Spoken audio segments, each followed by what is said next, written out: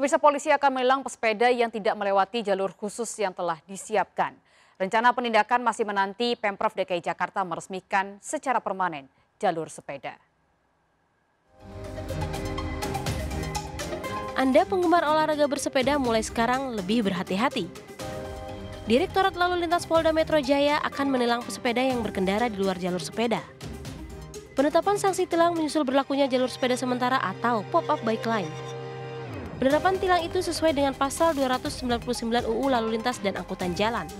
Para pesepeda yang melanggar akan dikenakan denda Rp100.000 atau ancaman kurungan penjara 15 hari. Aturan hanya diberlakukan untuk jalan yang sudah memiliki jalur sepeda saja.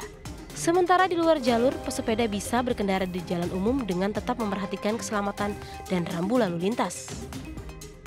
Rencananya tilang terhadap pesepeda ini akan mulai disosialisasikan selama seminggu ke depan soalnya kadang-kadang pesepeda suka ngambil jalur mobil bikin macet dan itu juga bikin ngebahayain nyawanya pesepeda juga gitu jadi menurut saya kalau buat sepeda ditilang itu setuju banget Jalur sepeda akan diberlakukan setiap Senin hingga Jumat pukul 6.00 hingga 8.00 pagi. Sementara sore hari dari jam 16.00 hingga 18.00. Sementara hari Sabtu dan Minggu operasional jalur sepeda di sore hari hingga pukul 19.00 waktu Indonesia Barat. Adapun total panjang pop-up bike lane ini adalah 14 km yang membentang dari Jalan Sudirman hingga Tamrin dan sebaliknya.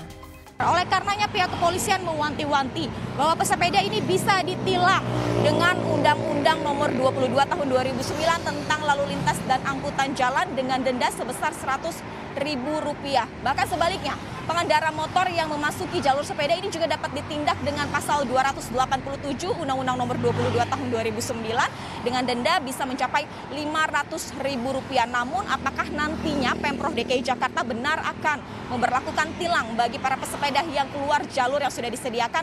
Kita tunggu akhir Maret 2021 ini setelah Pemprov DKI Jakarta meresmikan jalur sepeda secara permanen. Dari Jakarta, Revika Sibarani, Abdul Roshid, Ainus melaporkan.